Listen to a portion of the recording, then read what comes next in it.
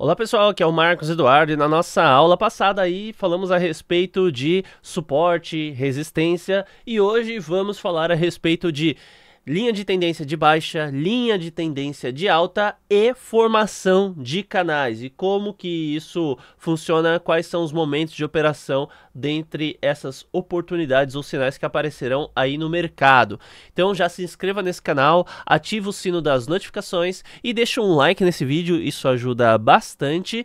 E então vamos lá, tá? Lembrando que eu estou operando aí através do par BTC USDT e se você ainda não tem conta na Binance, essa é a maior corretora de criptomoedas do mundo, use o meu link aí para se cadastrar, que é o primeiro que estará na descrição, e você terá 15% de desconto em todas as taxas de trade.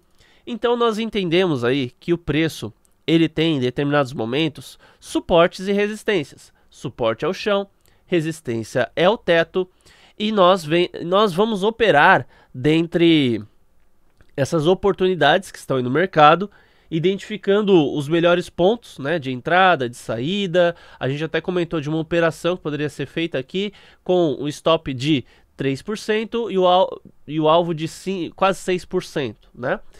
Então, como funciona? É a questão de linha de tendência de, de baixa e linha de tendência de alta. Basicamente, do mesmo jeito que nós temos linhas retas que oferecem suporte ao preço oferecem resistência, nós teremos linhas que vão ser utilizadas na transversal ou linha de tendência. Então, a gente tem aqui a ferramenta de linha de tendência que vai nos oferecer essa oportunidade. Então, se a gente tem suporte assim, a gente também tem suporte dessa forma. Olha só que interessante. Então, vamos deixar ele até mais arrumadinho aqui. Né? Mas olha só. Se você já tem aí três toques, tecnicamente você já pode traçar uma LTB ou uma LTA, tá? Então, do mesmo jeito que você tem um suporte que ele pode subir, você também pode ter uma resistência que pode subir. Você só tem que encontrar exatamente quais são os pontos de interesse dessa região, tá? Aqui a gente tem muito claramente Deixa eu colocar aqui, ó. A gente tem um período que, em determinado momento, essa linha de tendência de alta, essa LTA, ela teve uma interação aqui em outubro de 2022. Depois a gente teve uma grande interação aqui em mais ou menos janeiro de 2023 a fevereiro, 21 de até fevereiro, né, de 2023, For, foram dois meses aí de interação com essa região. E depois essa interação ela, ela começou a ter vários ruídos, vários ruídos aqui no meio.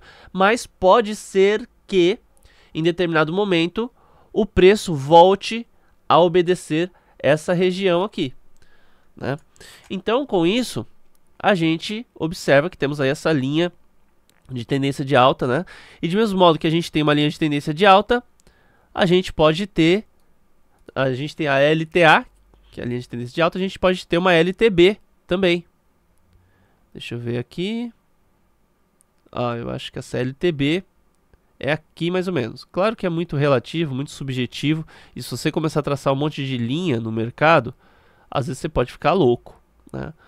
Mas então, deixa eu ver se essa daqui ela consegue se adequar. Vamos ver.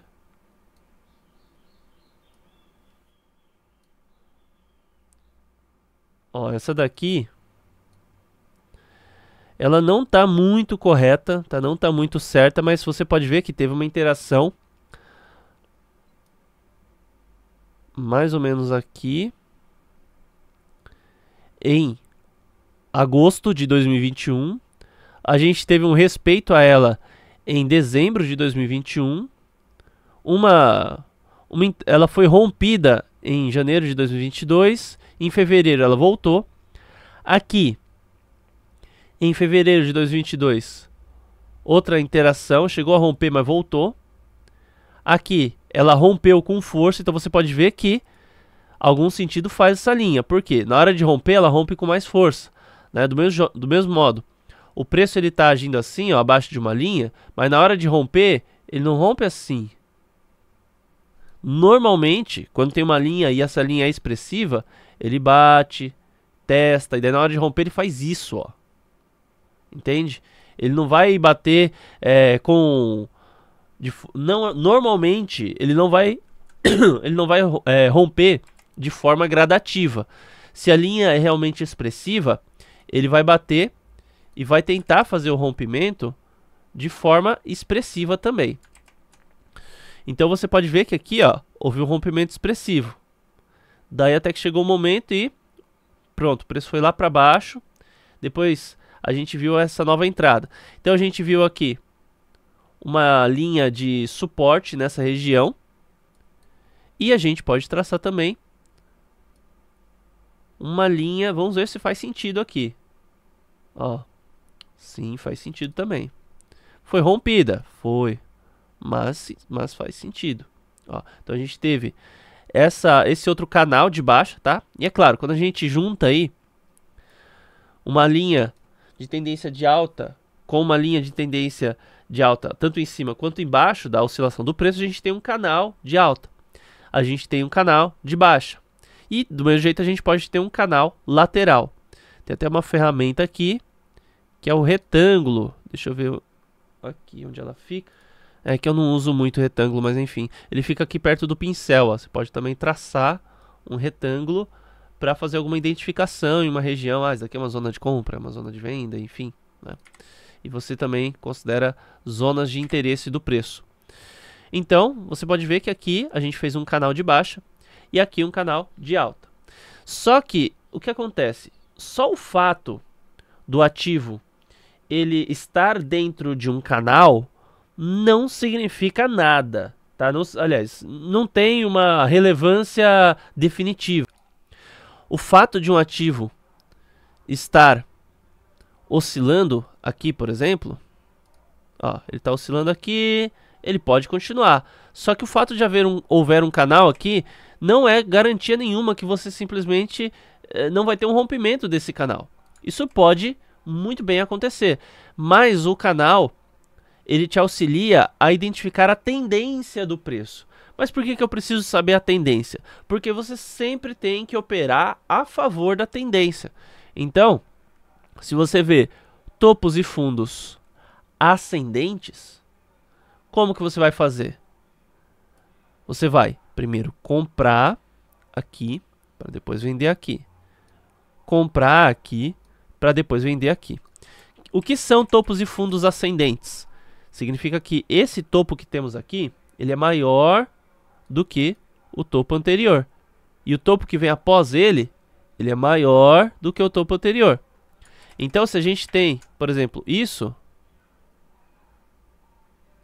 Isso daqui não é topo e fundo ascendente, é um topo igual ao topo anterior.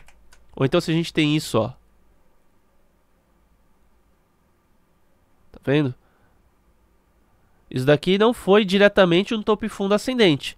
A gente tem uma tendência de alta não muito clara, né? Ou uma possível lateralização. Por quê? Esse topo pode ser até maior do que esse e esse maior do que esse. Só que esse fundo aqui, ele é maior do que o fundo anterior, né? Ele teria que ser menor, ele teria que ser ascendente, melhor dizendo. E não descendente. Nesse caso, a gente teve um topo ascendente com um fundo descendente. Então, isso daqui não é uma alta clara. E o que, que a gente faz? Então, se na alta a gente compra para depois vende, o que, que a gente faz na baixa? A gente espera? Não, a gente também. A, a gente também vai fazer a operação, né? A gente, só que daí o que a gente vai fazer? A gente vende aqui para depois comprar aqui. A gente vende aqui para depois comprar aqui. Só muda a ordem das coisas. É só isso. Ah, mas dá para ganhar dinheiro na baixa? É, na verdade, eu deixa eu fazer o gráfico de baixo para ficar bonitinho, né? Para ficar certinho a explicação. Você vende aqui para recomprar aqui.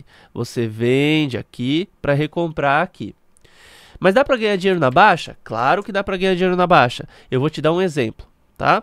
Então, nós temos aqui um período de baixa.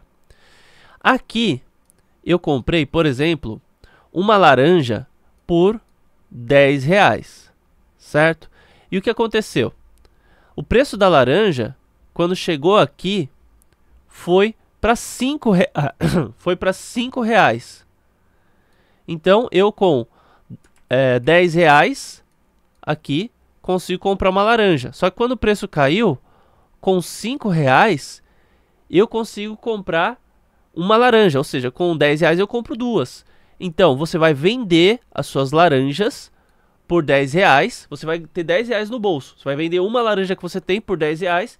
Quando essa laranja cair, aí você vai de novo fazer uma compra e você vai, ao invés de ter uma laranja, você vai ter duas. Então você aumentou a sua quantidade de laranja. Nesse caso, na baixa, você aumentou a sua quantidade de Bitcoin. Ah, mas eu não quero mais laranja, eu não quero mais Bitcoin. Eu quero é mais dinheiro, né? Então o que, que você faz? Se você tem. Se você vender uma laranja por 10 reais e aqui embaixo você vai ficar. É, a laranja tá 5 reais, o que, que você vai fazer? Você vai comprar apenas uma laranja e você vai ter uma laranja e também vai ter 5 reais na mão. Entende? Daí você, daí você manteve a sua quantidade de laranjas. Você manteve a sua quantidade de laranjas e ainda ficou com 5 reais no bolso. Se você simplesmente tivesse uma laranja e não tivesse feito operação nenhuma, você tinha uma laranja que valia 10 reais. No dia seguinte, você tinha uma laranja que valia 5 reais e não tinha nenhum dinheiro no bolso. Entende? Essa é a lógica. Então você consegue ganhar tanto na alta quanto na baixa. Claro que todo mundo prefere o mercado de alta, todo mundo prefere o mercado mais altista, né? Altista não no sentido da, é, da questão psicológica ou, ou, psiquiátrica, né? E se eu estiver errando aí, me perdoe, eu não sou especialista nisso. Então, basicamente, a gente tem aí a possibilidade de lucro tanto na alta quanto na baixa, e o que vai nos auxiliar a tomar essas decisões são justamente os canais de alta e de baixa. E é claro que as LTBs e as LTAs, elas juntas, dependendo do seu formato, elas podem também trazer algumas outras informações lógicas que nós podemos utilizar na hora de fazer as nossas operações, tá certo? Então, é isso, se inscreva aí no canal se não é inscrito, ativa o sino, deixa um like aí para ir acompanhando essas aulas e se esse conteúdo realmente foi útil para você. E na descrição é o link da Binance é, para você ter o desconto de 15% em todas as taxas de trade, o link do meu treinamento e também o link do robô de operações que eu utilizo caso você queira conhecer. Muito obrigado por assistir e até mais.